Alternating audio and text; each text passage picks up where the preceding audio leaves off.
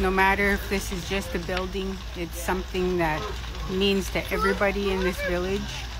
Rosalind Daniels and her family could feel the heat on their skin as fire destroyed an Anglican church across the street from their home, a place their community has gathered for over 130 years. When my children seen that, they were just so heartbroken because they have so many memories in that church. The fire on Gitwangak First Nation, the latest in a spate of suspicious fires after multiple unmarked grave sites were discovered at former residential schools. The arson and vandalism being condemned by Indigenous leaders. I can't understand the frustration, the anger, and the hurt and the pain. There's no question. Uh, but to burn burn things down is not our way. Today, the Prime Minister said such acts are unacceptable. Burning down churches uh, is actually depriving people who are in need of grieving and healing and mourning uh, from places where they can actually uh, grieve and reflect and look for support.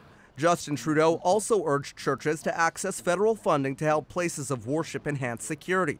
Ottawa added $2 million in this year's budget to that program, originally created in the wake of hate crimes. But some church leaders say accessing the money is slow and difficult. It, it is a challenge. Some I know that some groups have said, you know what, there's there's so much um, paperwork or administrivia involved in that. I'm, I'm not going to make the application.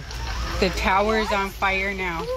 Back in Gitwangak, Daniels fears lives could be lost if this continues. Aboriginal or not, I don't think anger is the way to deal with it.